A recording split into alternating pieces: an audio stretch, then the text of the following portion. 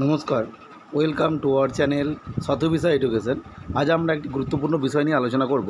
আপনারা থামলে সেটা দেখেছেন যে সিএইচএসএল ভার্সেস ফুড এসআই এই কথাটা বলার উদ্দেশ্য এটাই, কারণ আমার কিছু কিছু বন্ধুবান্ধব বা কিছু ভাই সম বা ছাত্র সমাজ যারা রয়েছেন, তারা অনেকে সিএইচএসএল পরীক্ষার জন্য ফর্ম ফিল আপ করেছেন এবং ফুড এসআই যেটা আর একটা শর্ট নোটিশ এসেছে বর্তমানে কিন্তু তার লং নোটিশ বা যে পুরোপুরি যে কবে ফর্ম ফিল আপ হবে বা সিলেবাসটা অ্যাকচুয়ালি কী হবে, সেই নিয়ে কোনো তথ্য আসেনি। তারা কিন্তু বর্তমানে যেটা বলছে যে food SI form fill up তারা করবেন না, অর্থাৎ সিএইচএসএল পরীক্ষাটাই দেবেন।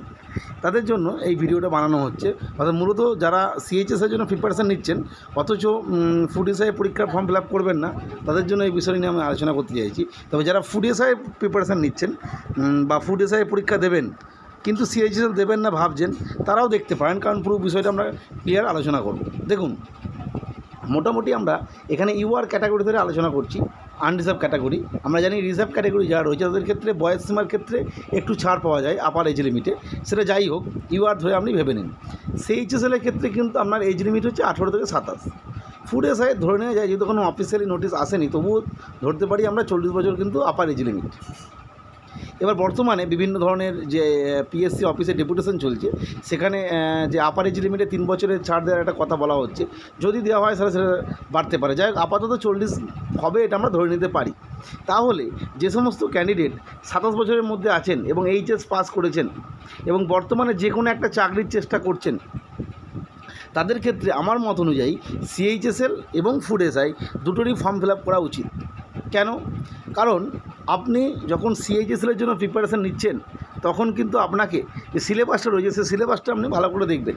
সিলেবাসে থাকছে রিজনিং অ্যারিথমেটিক কম্পিউটার এবং জিকে বা জিএস এবং কারেন্ট অ্যাফেয়ার্স ঠিক ফুড এসআই যেটা রয়েছে, এবার ফুড এসআইয়ের ক্ষেত্রে বর্তমানে কিন্তু অফিসিয়ালি কোনো সিলেবাস পাবলিশ করা হয়নি। প্রিভিয়াস যে সিলেবাস যেটাতে প্রথমে ডব্লিউবি এসএসসি নিয়েছিল, তারপরে ডব্লিউবি পিএসসি নিয়েছিল রিসেন্ট যেটা হয়ে গেছে, সে, সেই সিলেবাস অনুযায়ী আপনি পাচ্ছেন রিজনিং অ্যারেথমেটিক এবং জিকে অর্থাৎ কম্পিউটার এবং ইংলিশ যেটা রয়েছে এবং সেটা থাকছে না। তাহলে আপনি যদি সিএইচএসএলের প্রিপারেশনটা নেন, তাতে যদি ফুড এসআইয়ের ফর্ম ফিল আপ করেন এবং পরীক্ষা দেন, তাহলে কিন্তু আপনার ফুড এসআই ক্র্যাক করার সুবিধা হবে।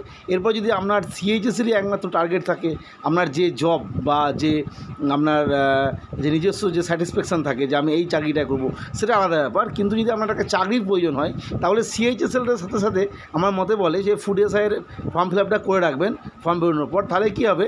আপনি কিন্তু সিএইচএসএল যদি কোনোভাবে ক্র্যাক নাও করতে পারেন, তাহলে কিন্তু আপনার ওই একই প্রিপারেশনে আপনি কিন্তু ফুড এসআইটা ক্লিয়ার করতে পারবেন। এটা কিন্তু আপনাকে মনে রাখতে হবে। কারণ সিএইচএসের যে সিলেবাস রয়েছে, সেই সিলেবাসের মধ্যেই কিন্তু ফুড এসআইয়ের সিলেবাসটা রয়ে গেছে। বর্তমান যে সিলেবাস আপাতত যেভাবে প্রিভিয়াস পরীক্ষা হয়েছে, সেই অনুযায়ী। আর একটা বিষয় যেটা, দেখুন ফুড এসআই এবং সিএইচএসএল দুটোর ক্ষেত্রে যেটা পার্থক্য তৈরি হয় সিএইচএসএল বর্তমানে যেটা ফর্ম ফিল আপ চলছে দু হাজার তেইশ, তার পরীক্ষা কিন্তু টায়ার ওয়ান যেটা টায়ার ওয়ান কিন্তু আপনার আগস্টে পরীক্ষা হওয়ার কথা বলে দিয়েছে। এটা সিএজের হয়তো খুব দ্রুত নিয়োগ হবে, ঠিক আছে?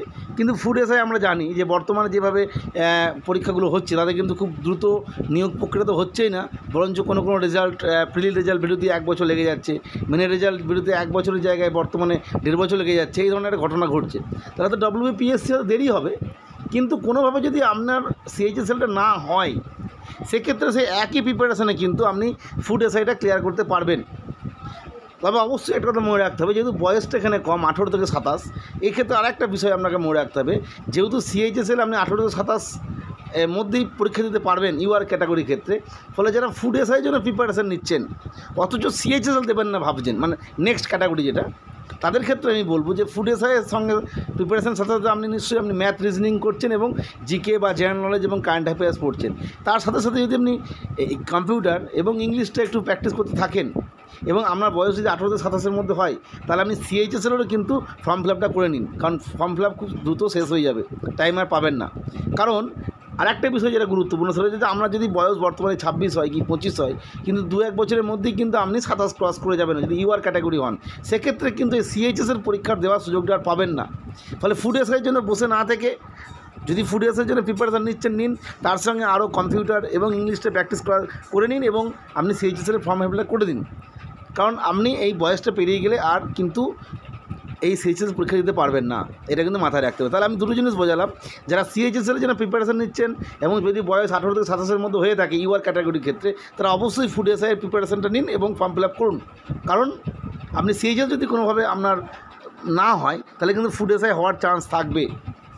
আর যারা ফুড এসআই প্রিপারেশান নিচ্ছেন, অথচ সিএইচএসএল প্রিপারেশান নেননি বা সিএইচএসএল দেবেন না ভাবছেন, তাদেরকেও বলব যে আপনারা যেহেতু ফুড এসআইয়ের টার্গেট করেছেন তার থেকে একটু সিলেবাসটা একটু বাড়িয়ে নিয়ে, নিজেদের যেরকমভাবে পড়ছেন সেটাকে একটু বাড়িয়ে নিয়ে সিএইচএসএলের ফর্ম ফিল আপটাও করে দিন। কারণ সিএইচএসএল ফর্ম ফিল আপ চলছে। কারণ যদি বয়স আমরা সাতাশের মধ্যে হয়, কিছুদিনের মধ্যেই যখন আপনি সাতাশ পেরিয়ে যাবেন, তখন কিন্তু সিএইচএসএল পরীক্ষা দেওয়ার আর সুযোগ পাবেন না ফুড এসআই পরীক্ষা দেওয়ার সুযোগ পাবেন। আমি পুরোটা বোঝানোর চেষ্টা করলাম আপনাদের, কারণ অনেকেই আছেন যারা দুটো পরীক্ষা নিয়ে দ্বিধায় আছেন, দুটো দিতে চাইছেন না।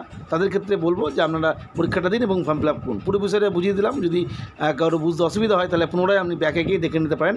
আজকের ভিডিও পর্যন্ত যদি ভালো লাগে লাইক করবেন, আর নতুন হলে চ্যানেলটিকে সাবস্ক্রাইব করে রাখতে পারেন। কারণ আমরা আমাদের চ্যানেলে আমাদের সাধ্য মতো কিন্তু বিভিন্ন ধরনের কম্পিটিভ পরীক্ষার যে উপযোগী করে বিভিন্ন জেনারেল নলেজের বিষয় নিয়ে সাবজেক্ট ওয়াইজ আলোচনা করে থাকি এবং বিভিন্ন ধরনের কোশ্চেন আনসারও আলোচনা করে থাকি। Thank you